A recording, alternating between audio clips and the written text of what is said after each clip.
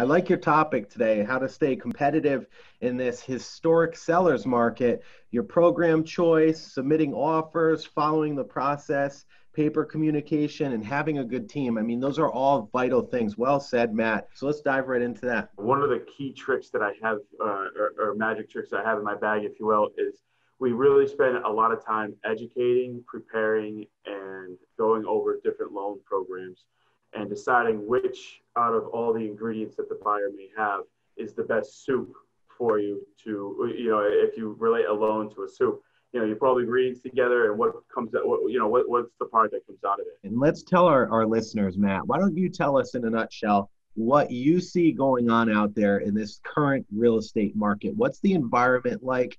How are buyers doing? Are there a lot of listings or not a lot of listings? Are, are, are there a ton of buyers swarming or not a ton of buyers? What does it look like to walk into a, a typical, let's just say between 200 and $500,000 home in the Rhode Island, Massachusetts markets? What does it look like for buyers right now? Well, it's uh, it can be extremely stressful if, if, you know going into it, looking at it, and uh, one of the one of the examples that I give you is that I'll give you is that there's not there's not a lot of houses on the market okay. right now. So it's a seller's market, and it, the inventory is really low.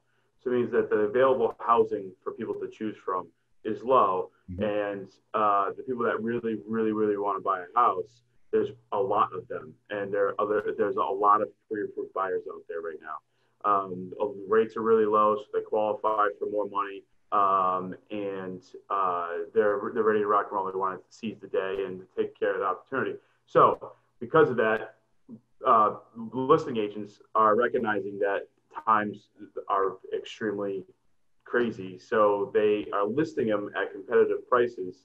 And I know from multiple conversations with buyers, if they show up to the open house, there's 15 people there, there's 20 people there. There's, those are the conversations that I'm having at the pre-approval stage before they actually go and see them which gives them another way to be prepared. Be, hey, listen, when you go to this open house, know that there are going to be 50 people here that are going to want the same house that you do. And if you want to have an opportunity to be able to get that, these are the things that you can expect to happen. I don't suggest this on every offer, and um, I go over the pros and the cons of doing something like this, but maybe they do an inspection, home inspection for informational purposes only. Maybe they do a non refundable deposit Maybe they get the, rid of the contingency for the appraised the, the house to appraise at the value.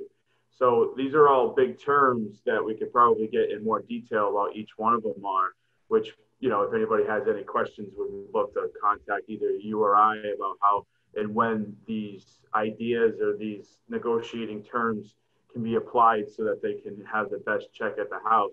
Um, mm-hmm. Um, but at the end of the day, I, I don't tell anybody to do any of these these things, overbid, get rid of appraisal contingencies, get rid of inspection contingencies, unless they absolutely love the house. Like if you love the house, like you love the location, you love the style, you're okay with any up, updating it needs, and, and you're motivated by love, then we'll get you that place. But if not, there's going to be other houses. We're going to find other places and let us help you find the one that you actually love.